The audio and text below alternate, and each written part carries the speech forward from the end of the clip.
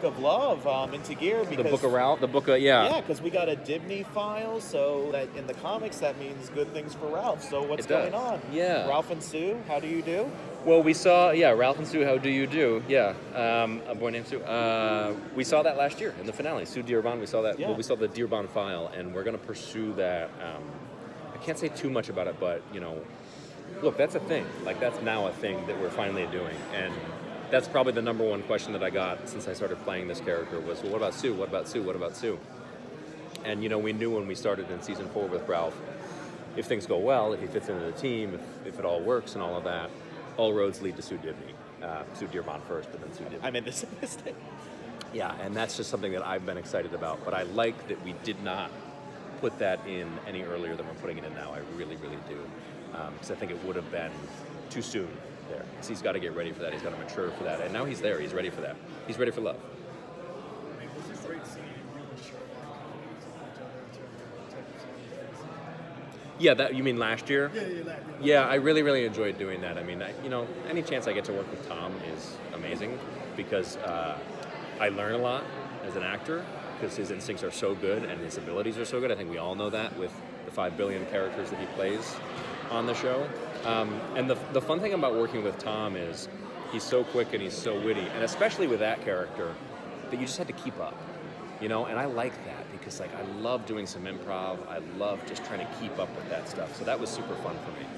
I love those characters together. And i also loved how that kind of became what it became at the end of the season like a mutually endearing kind of a thing. Yeah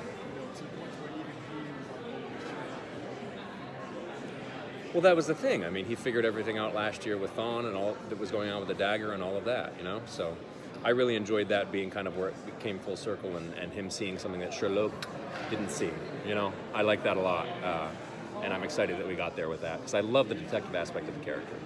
Super fun.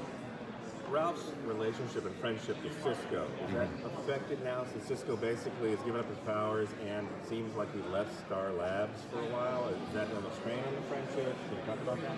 You know, I don't think it's a strain on the friendship in the sense that uh, we haven't gotten to shoot to filming and digging into that too much. Obviously, we've, we've done some stuff there, but we haven't specifically gotten to too much of that yet. But we will.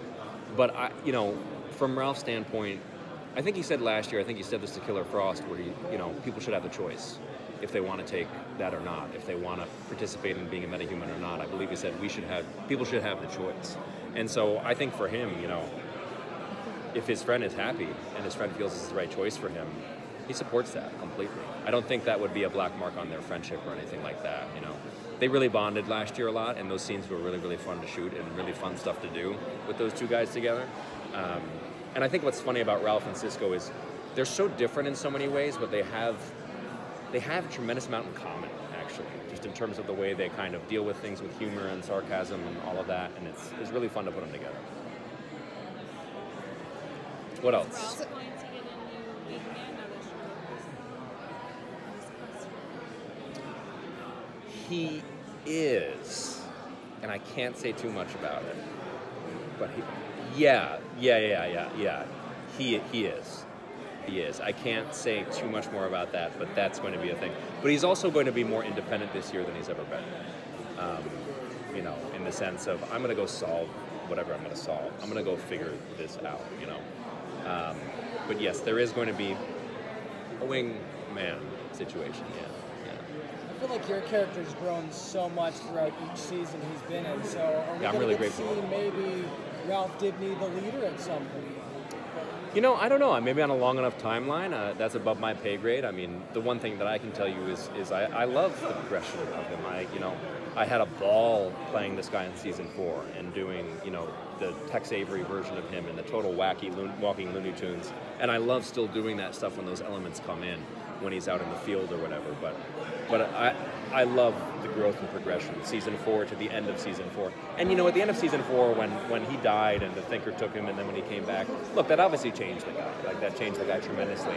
So that allowed us in season five to start him where he was, a little more mature, and then even grow him throughout season five.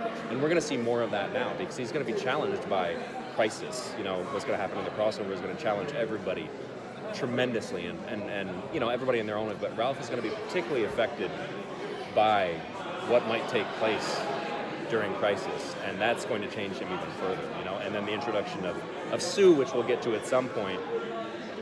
You got to change when that happens too. You got to evolve when that happens too. You mentioned. Oh, This is the last question, guys. Sorry, say again.